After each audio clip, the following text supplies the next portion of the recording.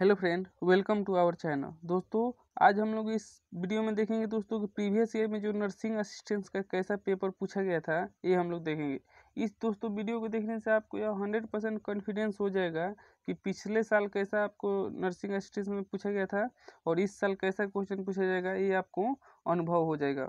और दोस्तों, हम आपको बता दें कि यह जो प्रीवियस ईयर ही क्वेश्चन होता है, वो हमारे आर्मी के सभी एग्ज़ाम में पूछा जाता है। इसलिए आप प्रीवियस ईयर को बारीकी से देखें, समझे और इसको याद करिए ताकि यही क्वेश्चन आपको पूछा जा सकता है। तो दोस्तों, इससे पहले मैं आपको एक और बात बता दूँ दोस्तों कि मैं आपको इसी चैनल पे पचास प्रैक्टिस सेट बना करके डाला हूँ, जो आपको प्लेलिस्ट में मिल जाएगा। आप वहाँ से देख लीजिएगा ताकि जो जीके मैं वहाँ प्लेलिस्ट में डाला हूँ, वही जीके जो दोस्तों है, आपको बार बार आर्मी के एग्ज़ाम में किसी भी ट्रेड से हो आप उसमें पूछा ही जाता है। तो दोस्तों, चलिए मैं इस वीडियो को स्टार्ट करूँ। तो दोस्तों, इस वीडियो को स्टार्ट करने से पहले मैं एक बात और भी बता दूँ आपको कि अगर दोस्तों अच्छा लग रहा हो तो प्लीज़ लाइक कीजिए इस वीडियो को, अपने दोस्तों के पास शेयर कीजिए ताकि वो भी इस वीडियो को आसानी से पढ़ सके और इसका लाभ उठा सके। तो चलिए देखते हैं पहला क्वेश्चन क्या बोला है। तो दोस्तों, पहला क्वेश्चन बोला है, सुश्री रीना कौशल, डैश वाली पहली भारतीय महिला थी। तो सुश्री रीना कौशल कौन डैश वाली भारतीय महिला थी? तो क्या थी दोस्तों? तो यहाँ जो जगह दक्षिणी ध्रुव के लिए स्क्री करने वाली, दक्षिणी ध्रुव के लिए स्क्री करने वाली यह पहली महिला थी option C is the correct होगा। दूसरा पूछा है कि होमी भाभा पुरस्कार, यानी कि डॉक्टर होमी जहांगीर भाभा पुरस्कार जो है किस लिए दिया जाता है? यानी कि निम्न में से किस विशेष फ़ील्ड योगदान के लिए दिया जाता है दोस्तों? तो भौतिकी के क्षेत्र में दिया जाता है, यानी कि लेजर भौतिकी। तीसरा पूछा है, ऊंच उम्मीद, डैश की जीवनी है। तो ऊंच उम्मीद किसकी जीवनी है दोस्तों? तो ऊंच उम्मीद जो है, नेल्स मंडेला की जीवनी ऑप्शन बी तक करेक्ट होगा, नेल्स मंडेला। चार नंबर पूछा है दोस्तों, हमारे शरीर की सबसे छोटी हड्डी कौन सी है? तो हमारे शरीर की सबसे छोटी जो हड्डी है, ये कान की हड्डी है। ऑप्शन ए तक करेक्ट होगा, कान की हड्डी। निम्न में से डैश वर्ष 2016 के लिए अशोक चक्र वीरता मिला, मिल गया था। तो अशोक चक्र वीरता दो हज़ार सोलह के लिए किसको मिला था दोस्तों? तो हो जाएगा हमारा लंच नायक मोहन नाथ गोस्वामी को। यहाँ मैं आपको सिर्फ़ और सिर्फ़ आंसर ही बताऊँगा, ज़्यादा एक्सप्लेन नहीं करूँगा क्योंकि वीडियो लंबा हो जाएगा, पचास क्वेश्चन हम लोग को देखना है। चलिए देखते हैं छः नंबर। हरित सूचकांक डैश द्वारा विकसित किया गया है। तो हरित सूचकांक किसके द्वारा विकसित किया गया है? तो विश्व बैंक के द्वारा विकसित किया गया है। सात नंबर पूछा है दोस्तों कि निम्न में से कौन सही ढंग से संक्षिप्त नहीं है? तो निम्न में से कौन सही ढंग से संक्षिप्त नहीं है? तो ऑप्शन ए इज़ द यहाँ करेक्ट होगा। यह जो है सही ढंग से संक्षिप्त नहीं है। आठवां का आंसर दोस्तों, देखिए आपका क्या होगा। जो ठीक से मेल नहीं खाती तो जो ठीक से मेल नहीं खाती, इसमें कौन सा है दोस्तों? तो यहाँ option D is the correct होगा। जो ठीक से मेल नहीं खाती है। बाकी सब सही है। ओलंपिक मसाल का प्रतीक है। तो ओलंपिक मसाल का प्रतीक क्या है दोस्तों? तो यह प्राचीन और आधुनिक खेल के बीच निरंतरता। आधुनिक एवं प्राचीन खेल के बीच निरंतरता जो है, ओलंपिक मसाल का प्रतीक है। दस नंबर देखिए दोस्तों क्या पूछा था? दस नंबर पूछा था आई ए एम ए आई का पूर्ण रूप क्या है? तो आई ए एम ए आई का पूर्ण रूप दोस्तों यहाँ हो जाएगा हमारा इंटरनेट और मोबाइल एसोसिएशन ऑफ़ इंडिया, यानी कि ऑप्शन सी द करेक्ट होगा इंटरनेट और mobile association of India. Part B में दोस्तों पूछता है मैथ। मैथ पूछता है चार क्वेश्चन। मैं आपको यहाँ बता दूँ एक और बात। मैं आपको जो टेक्निक नर्सिंग असिस्टेंट का जो सिलेबस होता है, कैसा सिलेबस होता है, ये मैं वीडियो बना करके डाल दी हूँ प्ले लिस्ट में। आप जा करके वहाँ से भी देख सकते हैं कि इसका सिलेबस क्या होता है। यहाँ यहाँ भी आप देखते देखते आपको पता चलेगा कि कौन क्वेश्चन कितना पूछा जाता है? यहाँ पार्ट बी में है जो आपको मैथ पूछता है। मैथ पाँच क्वेश्चन पूछता है। चलिए देखते हैं इसका आंसर दोस्तों, आप इसको आसानी से बना भी सकते हैं। निम्न में अंश जो अन्य तीन बराबर नहीं है तो निम्न अंश जो अन्य तीन के बराबर नहीं है तो वो कौन सा है? तो आप इसको भाग दे करके देख लेंगे तो यहाँ आपका आंसर आ जाएगा। ऑप्शन ए करेक्ट होगा। क्योंकि इसको देखिए, नौ बटे पंद्रह को आप तीन से काटिएगा तो तीन बटे पाँच आ जाएगा। ये भी तीन बटे पाँच है ही, और इसको भी देखिए, दो से काटिएगा तो तीन बटे पाँच ये भी हो जाएगा। तो यहाँ हमारा गलत हो जाएगा ऑप्शन। ए इज़ द बोला है अठारह, दो, पच्चीस का वर्गमूल क्या होगा? तो दोस्तों, मैंने वर्गमूल का भी एक वीडियो बना करके डाल दिया हूँ आप वहाँ से देख लीजिएगा। तो एक अठारह, दो सौ पच्चीस का वर्गमूल जो है दोस्तों, यहाँ हो जाएगा आपका एक सौ पैंतीस। तेरह में पूछा है। क्या सबसे छोटी संख्या है जो छत्तीस द्वारा यह घन सही बनाने के लिए विभाजित हो? तो दोस्तों, यहाँ देखिए आपका आंसर हो जाएगा तेरह का चार सौ पैंतालीस। यहाँ अगर देखिए दोस्तों, आप इसको गणित को बनाइएगा। अगर नहीं समझ में आए तो आप हमको कमेंट में बताइएगा। जो भी आपको गणित में कोई भी दिक्कत हो, आप हमें कमेंट में बताइएगा। मैं यहाँ आपको सॉल्व नहीं करा पाऊँगा, क्योंकि यहाँ ज़्यादा टाइम लग जाएगा मैथ सॉल्व कराने में और यहाँ स्क्रीन छोटा है, इसलिए मैं यहाँ स्क्रीन रिकॉर्डिंग में भी नहीं इसको सॉल्व करा सकता हूँ, क्योंकि स्क्रीन बड़ा चाहिए इसके लिए। तो मैं आपको व्हाइट बोर्ड पर वहाँ वीडियो क्लासेस में बता दूँगा, जहाँ पे मैं बोर्ड पे पढ़ाता हूँ। दोस्तों, आप कमेंट में बताइए कि सर ये क्वेश्चन नहीं बना, वो क्वेश्चन नहीं बना, मैं आपको वह क्वेश्चन उसमें पूरे वीडियो में बना दूँगा और अच्छे से एक्सप्लेन करूँगा ताकि आपको अच्छे से समझ में आ जाए। चौदह नंबर पे आप देख लीजिए, दो संख्याओं का योग इतना है। तो एच सी एफ़ की संख्या इतना है तो संख्या का अंतर क्या होगा? ये भी आप बना लीजिएगा। पंद्रह नंबर भी बना लीजिएगा और बताइएगा कि इसका आंसर ये है, उसका आंसर ये है। मैं आपको कमेंट में ही जवाब दे दूँगा कि ये सही है या गलत है।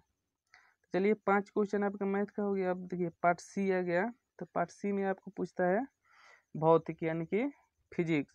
फिजिक्स से भी आपको पाँच क्वेश्चन इसमें पूछता है नर्सिंग असिस्टेंस में। तो पाँच क्वेश्चन देखिए क्या क्या पूछा है। तो बोला है दोस्तों, सोलह नंबर के एक ऑब्जेक्ट की गतिज ऊर्जा है। यदि उसके वेग दुगुनी हो गई है तो उसकी गतिज ऊर्जा हो जाएगी। दोस्तों न्यूमेरिकल पूछा है कि के एक ऑब्जेक्ट की स्थितिज ऊर्जा है। यदि उसके वेग दुगुनी हो जाए तो उसकी गतिज ऊर्जा डैश यानी कि क्या हो जाएगी? तो दोस्तों, यहाँ आंसर हो जाएगा हमारा चार हो जाएगी। Option C is the correct होगा, चार। सत्रह पूछा है, एक फुटबॉल के समान आकार की एक पत्थर से कम उड़ता? फिर से एक बार दोस्तों क्वेश्चन नंबर सत्रह। एक फुटबॉल की समान आकार की एक पत्थर से कम जड़ता है, क्योंकि क्योंकि दोस्तों तो यहाँ हो जाएगा हमारा आंसर सी फुटबॉल पत्थर की तुलना में कम वज़न है। फुटबॉल की जो पत्थर की तुलना में है, वज़न क्या होता है? कम होता है। इसके, इसीलिए उसमें जड़ता कम होती है। यानी कि ज़रूरत तो कम होती है। अठारह नंबर पूछा है दोस्तों, दस बीस, यानी कि एक हज़ार बीस न्यूटन की गुरुत्वाकर्षण शक्ति के साथ चंद्रमा पृथ्वी को आकर्षित करती है तो उसके बाद चंद पृथ्वी के डैश गुरुत्वाकर्षण बल के साथ आकर्षित करती है। तो अठारह का आंसर हो जाएगा दोस्तों हमारा। दस के पावर बीस न्यूटन, दस के पावर बीस न्यूटन यानी कि ऑप्शन सी द करेक्ट होगा। उन्नीस में पूछा है, यदि धरती का व्यास दो बार उसका वर्त, वर्तमान मूल्य हो जाता है और उसका द्रव्यमान अपरिवर्तित रहता है तो पृथ्वी की सतह पर किसकी वस्तु का वज़न कैसे प्रभावित होगी? तो दोस्तों, उन्नीस का आप एक बार अपने से पढ़ लीजिएगा और इसका आंसर देख लीजिए दोस्तों। उन्नीस का आंसर हो जाएगा आपका, वज़न एक चौथाई हो जाती है। वज़न एक चौथाई हो जाती है। ऑप्शन बी द करेक्ट होगा उनतीस का, उन्नीस का। बीस नंबर पूछा है दोस्तों सी जी ग्राम पर जी बाई जी की इकाई है। जी बाई जी की इकाई क्या है दोस्तों? तो जी बाई जी की इकाई है बीस का आपका मीटर स्क्वायर के जी स्क्वायर, मीटर स्क्वायर पर के जी मीटर स्क्वायर पर के जी यानी कि मीटर स्क्वायर पर के जी आपका आंसर हो जाएगा जी बाई जी की इकाई। देखिए, पार्ट डी में दोस्तों पूछा है बायोलॉजी। बायोलॉजी पूछता है दोस्तों पंद्रह क्वेश्चन। तो पंद्रह क्वेश्चन बायोलॉजी का भी हम लोग यहाँ देखेंगे। इक्कीस नंबर पूछा है दोस्तों, व्यक्ति का मल निम्न अंग की खराब के कारण सफ़ेद रंग, ग्रे रंग का है तो व्यक्ति का मल निम्न अंग की खराबी के कारण सफ़ेद ग्रे रंग का है तो दोस्तों, किस अंग की खराबी के कारण व्यक्ति का मल जो है, ग्रे, सफ़ेद, ग्रे रंग का होता है? तो यहाँ इक्कीस का हो जाएगा आपका ऑप्शन डी यानी कि लीवर यानी कि जिगर लीवर लीवर के कारण। बाईस पूछा है ए बी रक्त समूह, बी समूह सॉरी ए बी रक्त समूह बी समूह रोगी को दिया जा सकता है क्योंकि दोस्तों पूछा है रक्त ए बी जो समूह है, जो बी समूह रोगी को दिया जा सकता है। क्यों? तो दोस्तों, इसका आपका आंसर हो जाएगा बाईस का डी तो बाईस का आंसर डी हो जाएगा। तो यहाँ ऑप्शन नहीं दिया गया है, इसलिए मैं आपको अगले वीडियो में बता दूँगा कि इसका आंसर क्या होगा। तेईस पूछा है दोस्तों, डैश विश्व एड्स दिवस है। तो दोस्तों कभी कभी टाइपिंग में थोड़ा मिस्टेक हो जाता है तो इसके लिए कोई बड़ा इशू नहीं है, मैं आपको अगले वीडियो में बता दूँगा। आप कमेंट में बताइएगा कि सर इसको बता दीजिए मैं अगले वीडियो में आपको बता दूँगा। दोस्तों, थोड़ा मान लीजिए कि टाइपिंग में थोड़ा मिस्टेक होता है, इसलिए आपको सही से कोई क्वेश्चन, एक दो क्वेश्चन इधर उधर हो जाता है। तो दोस्तों तेईस पूछा है, डैश विश्व एड्स एड्स दिवस है। तो विश्व एड्स दिवस कब मनाया जाता है? तो विश्व एड्स दिवस दोस्तों एक दिसंबर को मनाया जाता है। Option B is the correct होगा पेनिसिलिन का स्रोत है। तो पेंसिलिन का स्रोत क्या है दोस्तों? तो पेंसिलिन का स्रोत है आपका ढालना ढालना। पच्चीस पूछा है, मुख्य गैस ग्रीन हाउस प्रभाव पैदा कर रहा है। तो मुख्य गैस कौन सा है जो दोस्तों ग्रीन हाउस प्रभाव पैदा करता है? तो आपका हो जाएगा नाइट्रोजन नाइट्रोजन। नहीं हो जाएगा यहाँ दोस्तों पच्चीस का आपका आंसर हो जाएगा। नाइट्रोजन इसमें दिया है, लेकिन यहाँ नाइट्रोजन होगा नहीं दोस्तों कार्बन डाइऑक्साइड होगा। ग्रीन हाउस प्रभाव पैदा करने वाला कौन सा गैस है? तो carbon dioxide option D is the correct होगा। कार्बन डाइऑक्साइड पूछा है दोस्तों छब्बीस, निम्न में से कौन सा एक जीवाणु नहीं है? तो निम्न में से कौन सा एक जीवाणु नहीं है दोस्तों? छब्बीस का आपका हो जाएगा छब्बीस का option D is the correct होगा, जो जीवाणु नहीं है। सताइस पूछा है दोस्तों, रेशम उत्पादन डैश के साथ जुड़ा हुआ है तो रेशम उत्पादन किसके साथ जुड़ा हुआ है दोस्तों? तो रेशम रेशम उत्पादन जो है दोस्तों आपका जुड़ा हुआ है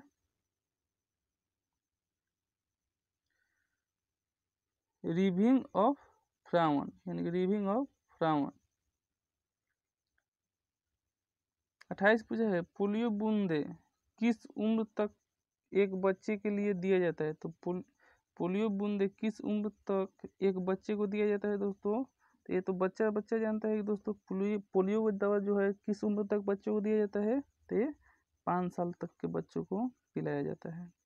उनतीस पूछा शरीर के किस अंग में अमोनिया यूरिया के कन्वर्ट किया जाता है? तो किस अंग में दोस्तों अमोनिया को यूरिया में कन्वर्ट किया जाता है? तो यहाँ हो जाएगा हमारा सी यानी कि लीवर द्वारा।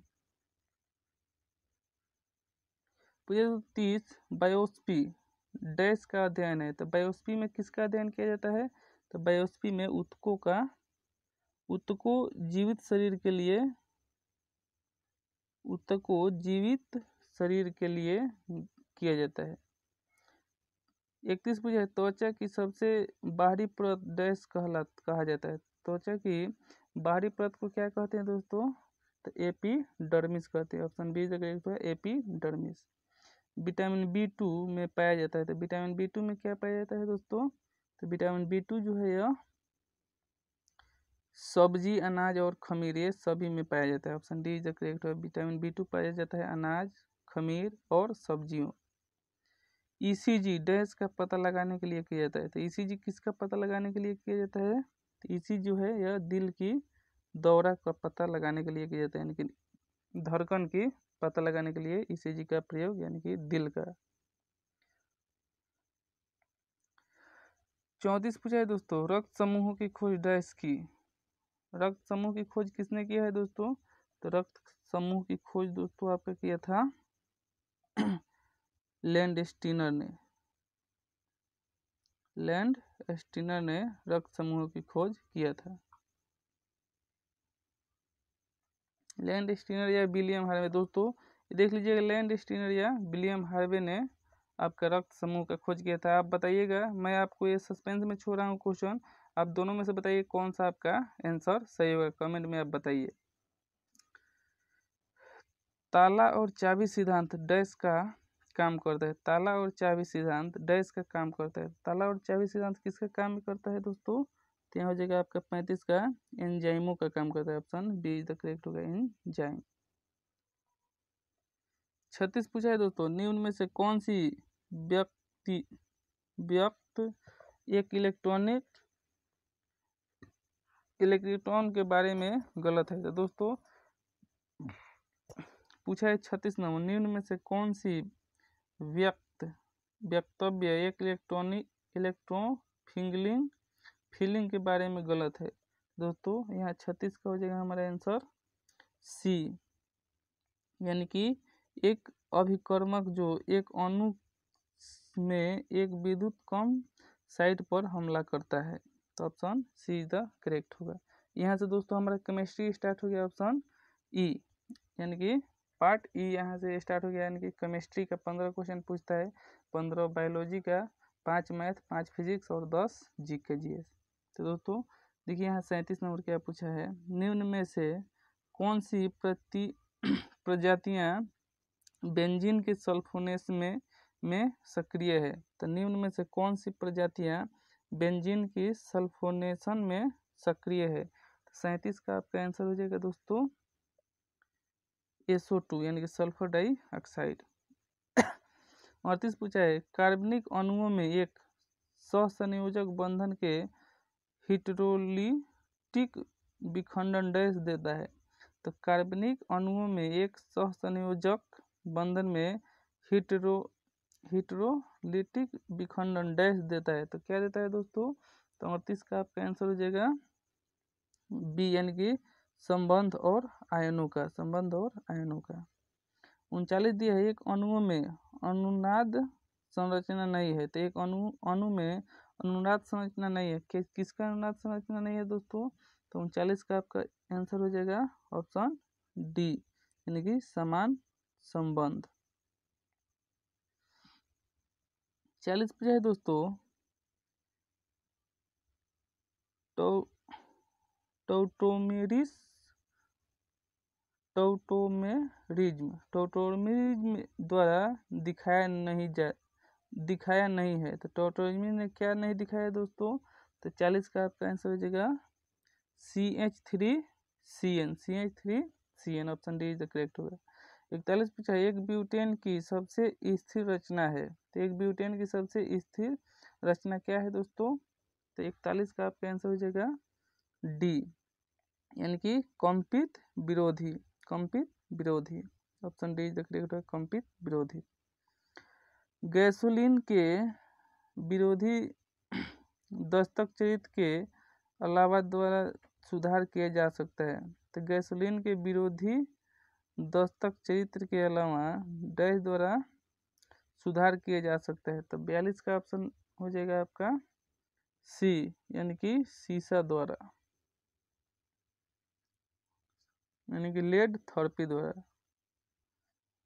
तैतालीस पूछा है दोस्तों, फैलाने वाली सूर्य की रोशनी की उपस्थिति में क्लोरीन के साथ आइसोब्यूटेन का इलाज करते समय प्राप्त डैश मुख्य उत्पादक प्राप्त होता है। तो दोस्तों, आप एक बार फिर देख लीजिए क्वेश्चन। फैलाने वाली, यानी कि फैलने वाली सूर्य की रोशनी की उपस्थिति में क्लोरीन के साथ आइसोब्यूटेन का इलाज करते समय प्राप्त डैश प्रमुख उत्पाद प्राप्त होता है।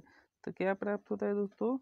तैतालीस का आपका हो जाएगा ऑप्शन सी, यानी कि टट ब्यूटिल क्लोराइड। टट butyl chloride, option C is the correct चौवालीस पूछा है ओ एक्सलिन का रिएक्टिव ओजन, ओजोनोलिसिस डैश देता है। तो ओ ऑक्सीले ओ ऑक्सीलिन का रिडक्टिविटी ओजोनलिसिस डैश देता है। तो चौवालीस का आपका आंसर हो जाएगा। ऊपर की सभी, यानी कि ए बी और सी यानी कि ये सभी।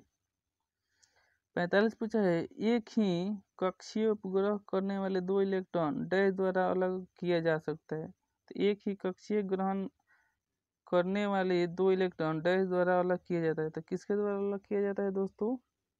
तो पैंतालीस का आपका हो जाएगा। Option B, quantum number spin द्वारा। क्वांटम नंबर स्पिन यानी कि option B is the correct हुआ। पैंतालीस पूछा है छियालीस पूछा है दोस्तों। सी ए सी टू के साथ नाइट्रोजन की प्रक्रिया के परिमाण स्वरूप डैश उत्पाद प्राप्त होता है। तो सी ए सी ओ टू के द्वारा, यानी कि सी ए सी टू के साथ नाइट्रोजन की प्रतिक्रिया के परिणाम स्वरूप डैश उत्पाद प्राप्त होता है। तो छियालीस का आपका क्या आंसर हो जाएगा दोस्तों? छियालीस का आपका ऑप्शन सी हो जाएगा, यानी कि calcium C A C N के whole two C A C N के होल ट्वाय सैंतालीस पूछा, एक न्यूक्लियोफिलिक एक न्यूक्लियोफिलिक अभिकर्मक के पास डैश ज़रूरी होता है। तो एक न्यूक्लिय, एक न्यूक्लियोफिलिक अभिकर्मक के पास डैश ज़रूरी है। तो क्या ज़रूरी है दोस्तों? तो यहाँ सैंतालीस का आपका आंसर हो जाएगा पूरी ऑक्टेट पूरी ऑक्टेट और अकेला इलेक्ट्रॉन के साथ एक प्रजाति। अड़तालीस पूछा है दोस्तों, निम्न में से कौन सी प्रजाति पैराग्रेटिक प्रकृतिक है। तो निम्न में से कौन सी प्रजाति पैराग्रेटिक प्रकृतिक है? तो अड़तालीस का हो जाएगा आपका मुक्त मूलक, यानी कि ऑप्शन यही तो करेक्ट होगा, मुक्त मूलक। उनचास पूछा है दोस्तों, निम्न में से कौन सी एसिड आप सबसे मज़बूत होने की उम्मीद करते हैं? तो निम्न में से कौन सी एसिड है जो आप सबसे मज़बूत होने की उम्मीद करते हैं तो उनचास का आपका आंसर हो जाएगा F C H two C double O H F C H two C double O H यानी कि option D is the correct होगा। पचास पूछा है दोस्तों, दिए गए एसिड के लिए कौन सा सही विवरण है? तो दिए गए एसिड के लिए सही, कौन सा सही विवरण है? तो पचास का आपका आंसर हो जाएगा, ये जो है, फॉर फॉस्फिन एसिड एसिड होता है जबकि फास्फोनिक एसिड एक डिप्टा डिपाट्रोटी एसिड होता है। तो दोस्तों, देखिए, इस वीडियो में क्या है कि थोड़ा टाइपिंग जो है छोटा छोटा हो गया है, जिसके कारण पढ़ने में थोड़ा दिक्कत हो रहा है। इसको आप आसानी से पढ़िएगा, देखिएगा, समझिएगा तो आपको हंड्रेड परसेंट ये समझ में आएगा। दोस्तों, एक बार में अगर नहीं समझ में आए तो आप इसको दो बार भी देख लीजिए, ताकि आपको हंड्रेड परसेंट समझ में आ जाए। और दोस्तों, इस वीडियो को शेयर करना बिल्कुल ना भूलिए अपने दोस्तों के पास। क्योंकि ये क्वेश्चन वही है जो आपको प्रीवियस ईयर में क्वेश्चन पूछा गया था और इस बार भी इसमें से दस या पंद्रह क्वेश्चन पूछा ही जाएगा। तो दोस्तों, बिना किसी तरीके आप इसे रट जाइए। फिर मिलेंगे हम नेक्स्ट वीडियो में। Thank you Jai Hind